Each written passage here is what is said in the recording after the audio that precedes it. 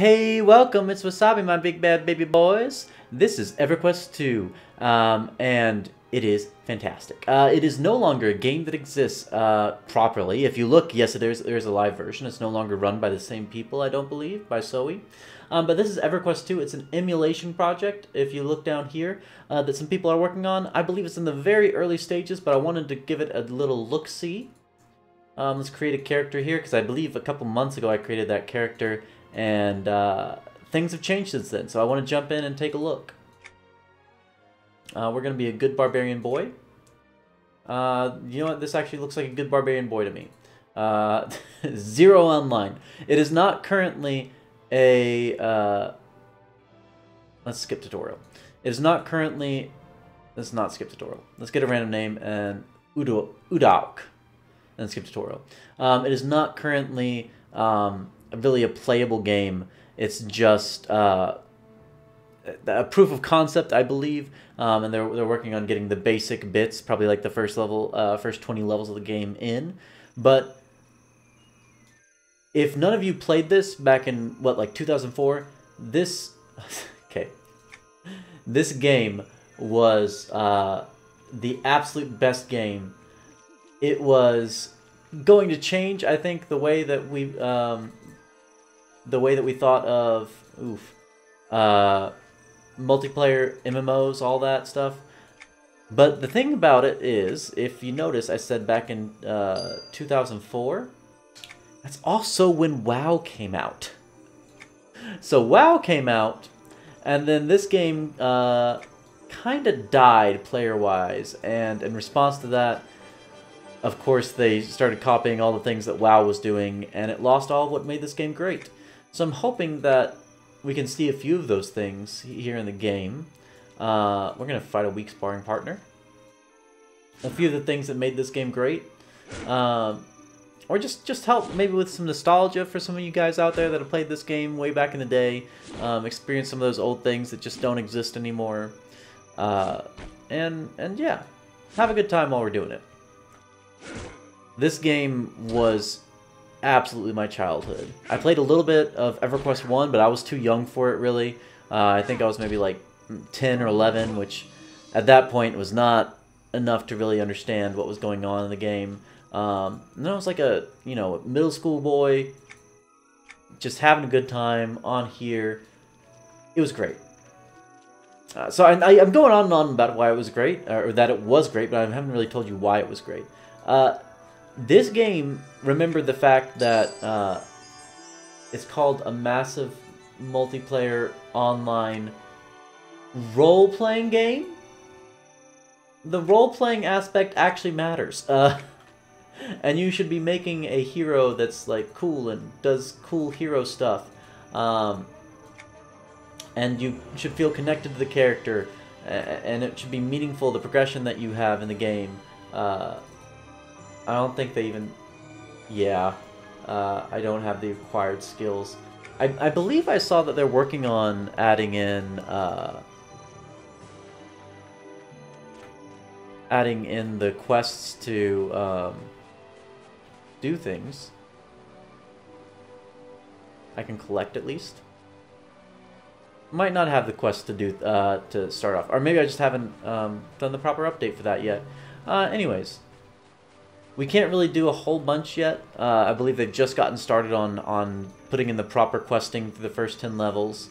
Uh, if you go down to the link below, you should be able to find like the Discord and everything uh, and see what progress they are making. It's just awesome uh, looking at all this stuff and remembering just the adventures that we had all those years ago.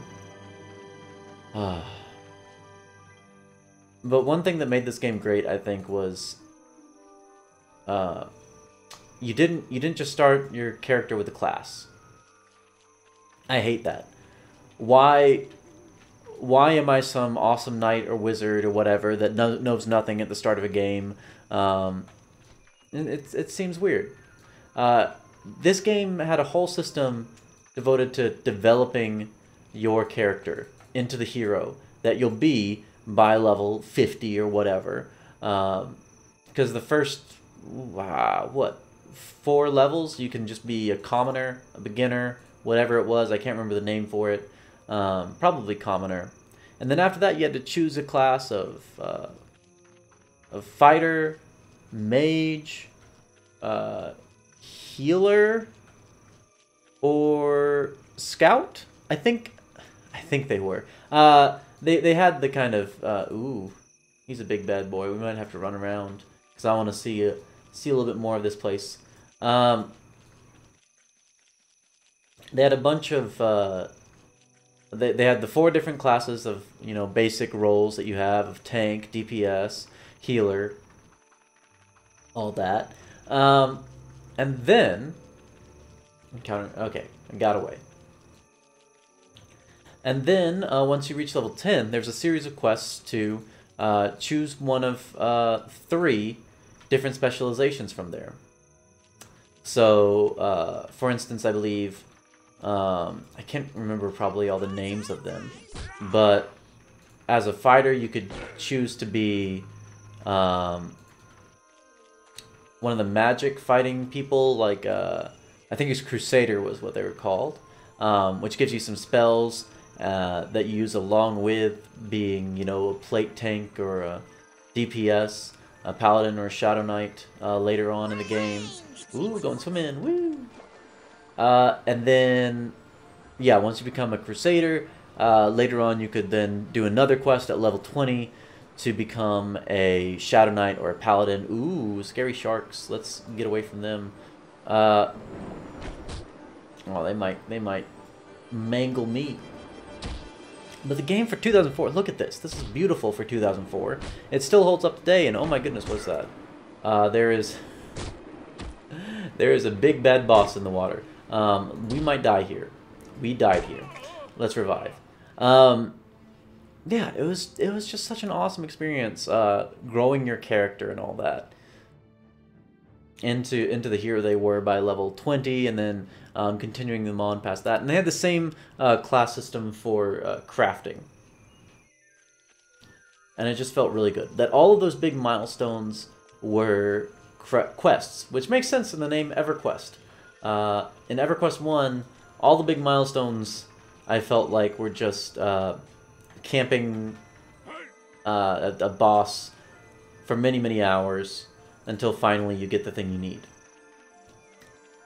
I'm just going to wander around while I'm rambling, because that's what this turning into. There's not enough, really, features that I have here um, to show off anything, but I, I just I just want to show off this game, because it was, it was such a meaningful part of my childhood. Ah and it had a really cool story to it um, that I, I, remember loving the questing that went along telling the story. Uh, if you look up here, boom bam, that's the moon. That's where the cat people are from, I believe. I, I don't know. I didn't really get too into the lore in EverQuest 1. Um, but there's a great cataclysm. Uh, there's amazing uh, promo materials that were coming out in like 2003, uh, 2004 for this game that just got me so hyped for it. Oh. Oh my goodness. Uh, but there's a great cataclysm that basically destroyed the whole world that you played in in uh, in EverQuest One, and all of the big cities are dead and gone, or they're now overrun by a bunch of baddies that you can. Oh, that's so nice of you, Mister. Oh, I thought it was a troll. He's a cat. He's a cat people. Ashar. Ashar Grawl. Um, yeah, so everything is dead in the world except for the two cities of Qeynos and Freeport. Uh, Freeport being now where all the big baddies are, and Qeynos being where all the goody two-shoes are. Uh, and your classes were kind of confined if they were good or bad to one of those two cities. Uh, but if you're kind of like a neutral class, I think like a monk was, you can be a bad monk, a good monk, doesn't matter. A good wizard, a bad wizard, doesn't matter uh, you could go wherever you wanted. And that was also a really cool system. Um, because there was a betrayal quest. If you decided you didn't want to be a Shadow Knight, you wanted to be a Paladin, you could go through this long, laborious uh, quest to switch your home city from Freeport to Qeynos, and it was it was a fun time. Uh, but it it did uh, offer a lot of uh, condensing of the population, uh, making it feel massive in multiplayer. The fact that everyone was, you know, gathered around these two main hub cities. And uh, there's only like two uh, leveling paths going out from those two cities. Uh, and they were very varied in, you know, the mobs and um, the scenery, and it was two very unique experiences that were both very uh, cool to have. But man, just I, I want I want to be able to play this game properly because what it is now, the live version, um, it just doesn't feel this way. The soundtrack is amazing. It just gets you so encapsulated in the game.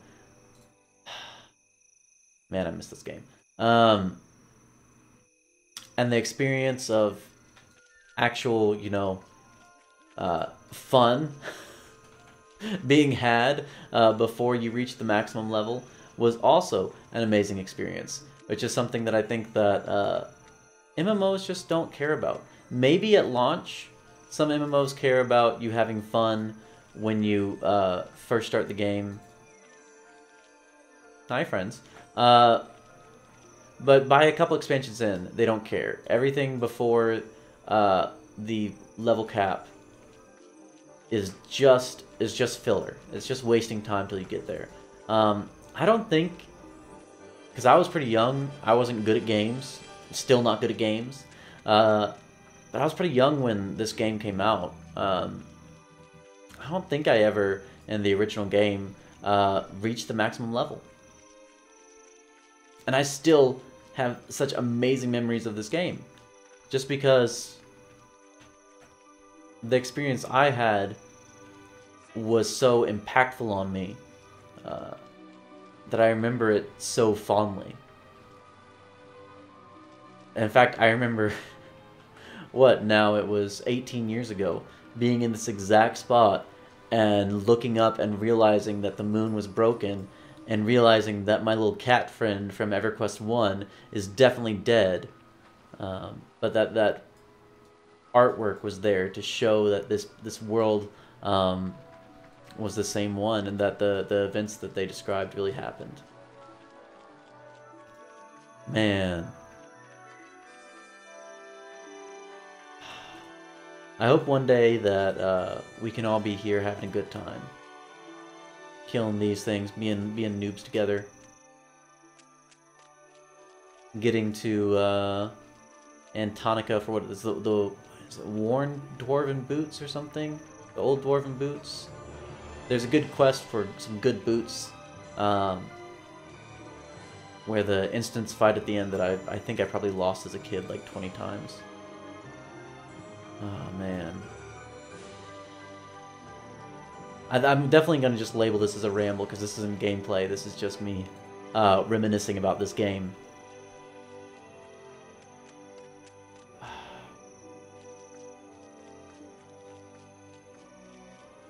I, I, I don't know. Looking back, I don't know if it's just that I was at the age that all of this hit home to me so sincerely. Or if it was such an impactful game. Okay, I don't sit down. but I mean... It was it was something special. I, I, I do think that. EverQuest 1 was kind of like the granddaddy of all of the uh, all of the MMOs. It really set the precedent before World of Warcraft set, you know, the standard of what everything would be afterwards. But this game, I think, took EverQuest 1 and thought, what can we change?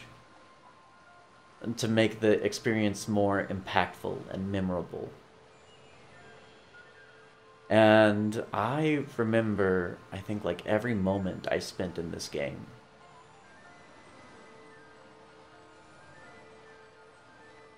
I mean, it might have been a lot of escapism as well, because that wasn't a great time in my life growing up.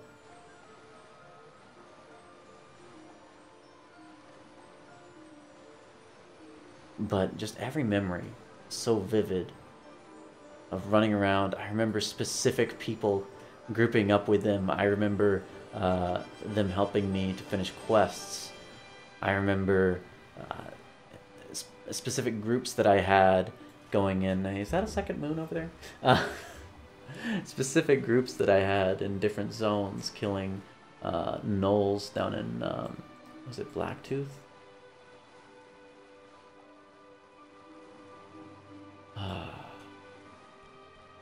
and I, I I look around at all like the nostalgia games that are coming out, um, like old school RuneScape, uh, of course, isn't coming out. It's been out for a long time.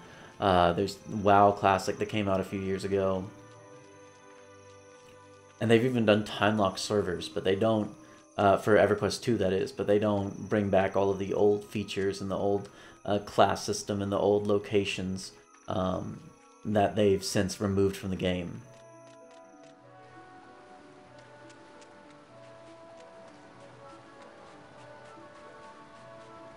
And while I know that like this game would die eventually if they brought out a classic version of it, uh, because not enough people played it. At least in its original version. It was a, I, I know it was a commercial success at first, uh, but just coming out so soon before World of Warcraft, uh, I know that the commercial success also did not last uh, for but a few months uh, before all the players switched over to WoW. And the direction of the game changed from then, so anybody that came back after that point uh, wouldn't have any nostalgia for this era within the first, I think, one or two uh, expansions before they started to change everything.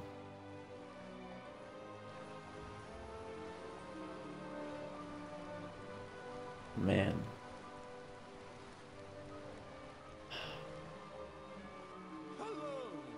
Go and uh, go and check out in the description. Like I said, I'll leave it there. Uh, any information about uh, the Zek Labs, the people that are working on this, and all that. Um, maybe if I can find the the Discord uh, for them, you can keep up with the progress they're making.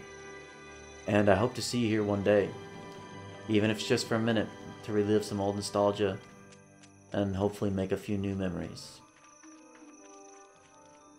I'll see you later. Bye.